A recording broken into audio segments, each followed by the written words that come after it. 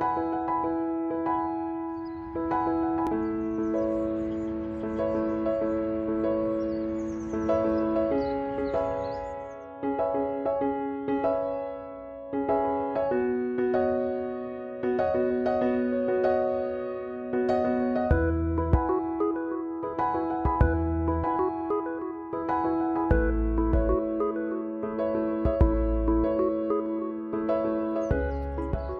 I'm golf professional Bob Swinnerton from the Santa Cruz Golf Academy, and I'm out here at the Pacific Golf Center to share with you some of the secrets to the game.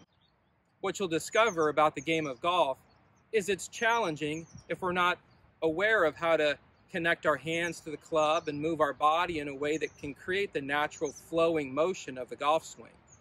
It's when we begin to create that flowing motion that you'll allow the golf ball to be collected as a natural part of the swing and this is going to help you to unlock the power with your driver in a much more natural way and the creativity and the feel with your short shots around the green that's going to help you to get the ball up and down into the hole in the fewest number of strokes. Well, I look forward to sharing this with you. So don't we take a look, a little closer look at unlocking some of the secrets to your game.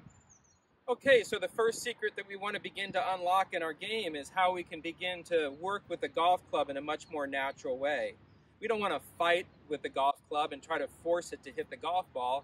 We don't want to rely on hand-eye coordination to make solid contact with the golf ball. We want to discover that we can take advantage of the weight of the golf club, its unique length and shape, and then when we take advantage of it, we can begin to create a natural rhythmic flowing motion in our swing to, to lay the foundation of what that feeling is, I'd like you to hold the club just lightly in your fingertips. As you're holding the grip, you'll notice it has a tacky nature to it. So there's a friction-based connection. I don't need pressure to connect my hand to the club. And now when I set it in motion, it's a simple pivot in my forearm and a light hinge in my wrist. Now that is setting the club in motion with a natural flow to the swing. That is one of the secrets to our game is that when we begin to learn that the fundamental of our swing can have that natural flowing movement, always working with the weight of the golf club, then my hands can connect as one unit naturally.